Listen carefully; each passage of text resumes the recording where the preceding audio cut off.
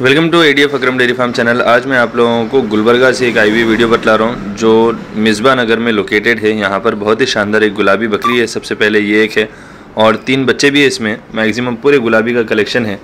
कान देखिए, इसके 16 इंच लंबान, सात इंच चकलान है। आठ महीने की पाठ है अभी है और पूरा चेहरा गुलाबी, कान गुलाबी, मार्बल सिंग मार्बल खुर के अंदर। बहुत ही हेल्थी है, कहीं पर भी कोई टेप वगैरह लगा हुआ नहीं है। देखिए, अदंत पार्ट है अभी।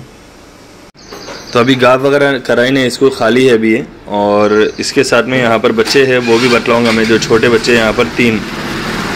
सबसे पहले ये एक है देखिए, इसमें दो फीमेल और एक मेल है, और तीनों भी गुलाबी के अंदर है।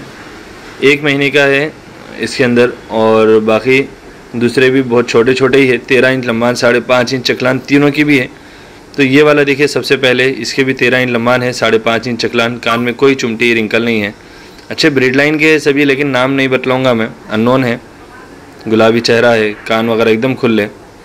और सारे वाइट आइस में हैं। और ये वाले शान लाइन के बतला रहे हैं भाई, यानी तीनों बच्चे। ये सेकंड वाला बच्चा है। ये एक नर बच्चा है, देखिए आप। पूरा पिंक स्किन में है। चेहरा गुलाबी है, इसका कान गुलाबी है। पूरे शान लाइन के है, तेरह इंच लंबान है, साढ़े पाँच इंच चकलान है वाइट आइस है। एक मेल और दो फीमेल्स रहेंगे इसके अंदर।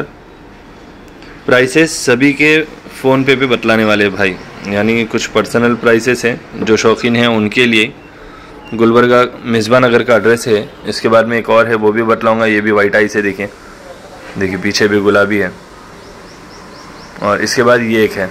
और ये मैक्सिमम यानी 90 परसेंट आप इसको गुलाबी बोल सकते हैं मार्बल सिंह में। कान पूरे चकलान लम्बान पूरी खुली है। इसके भी तेरह इंच लम्बान है, साढ़े पाँच इंच चकलान है। एकदम एक्टिव सेहतमंद हेल्थी है। तो जो इंटरेस्टेड हो, आप लोग विज़िट करके चेक कीजिए। गुलबर्गा मिसबा नगर का एड्रेस है। अगर आप लोग कॉल करेंगे तो लोकेशन भी भिजवा देंगे। सारे सेहतमंद हेल्थी बच्चे हैं।